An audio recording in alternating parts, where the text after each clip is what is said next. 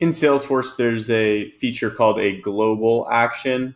Uh, and what this can be used is kind of like a shortcut anywhere in the system uh, to do some um, you know repetitive tasks or or complete some activity that you do often, right? So there are some instances where you know these might not all be the same for every organization. You can actually take some of these things away as an administrator. There are some pros and cons on how to keep the database clean that kind of revolve off this feature. So if you have some that are missing, uh, like creating a contact or anything like that, you might want to talk to your admin and see if it's something that you'd be okay to add, um, or if maybe your organization needs to avoid it for some particular reason.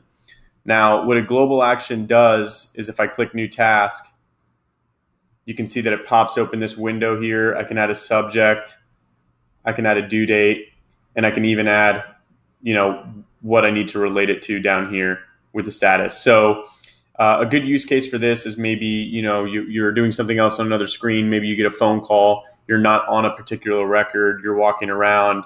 Um, you can always just click this button here and task yourself. You don't have to look for a particular record, click into that record, and click new task. You can just click a global action here, do it on the fly right from your home screen or from whatever record you're on in the system.